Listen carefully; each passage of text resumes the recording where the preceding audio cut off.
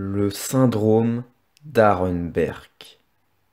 Écrit et raconté par Max Log. Luc Talon est né en France. Il vit avec ses deux parents et sa grande sœur Morgane. Mais à l'âge de 5 ans, il perdit sa mère pour une raison qu'il encore. Suite à ce drame, son père fut traumatisé et sombra dans l'alcool et la drogue. Luc et Morgane furent donc envoyés vivre chez leurs grands-parents. Il les emmenait souvent voir des spectacles pour leur changer les idées. Luc prit beaucoup de goût à l'art du spectacle. Il voulait être comme les clowns, faire des pirouettes, lancer des seaux d'eau et des tartes à la crème sur les autres. Des années plus tard, il fit des études d'art. Dans cette école, il rencontre une fille britannique nommée Mary Follin. À 32 ans, Mary était chanteuse et mariée à Luc, qui était devenu acteur et réalisateur de films. Maintenant, il s'appelait Luke Tymon. Il était fier de sa carrière. Succès international et plein de fangirls dingues de lui. Morgan, quant à elle, était devenue scientifique dans un laboratoire au Japon. Luke et Mary attendent un petit garçon qu'ils ont appelé Bob.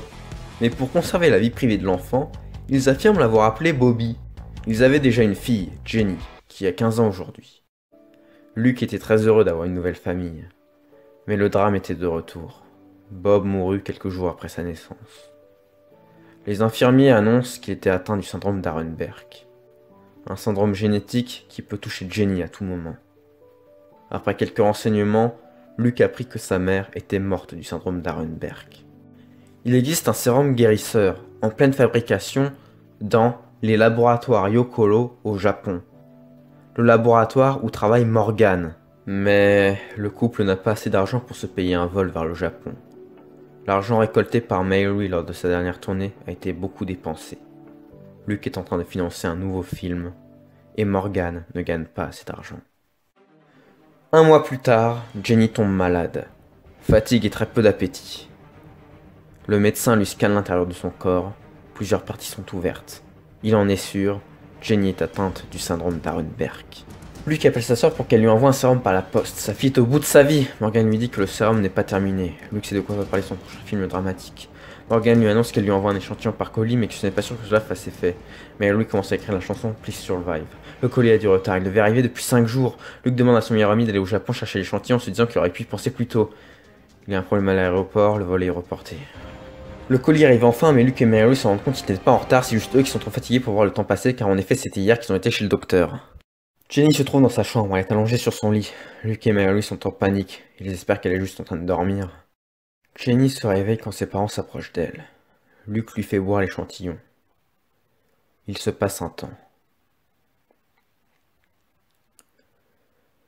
Jenny se relève, elle a faim. Luke et Mary aussi. Ils vont prendre leur petit déjeuner, tous les trois, alors qu'il est déjà 17 heures.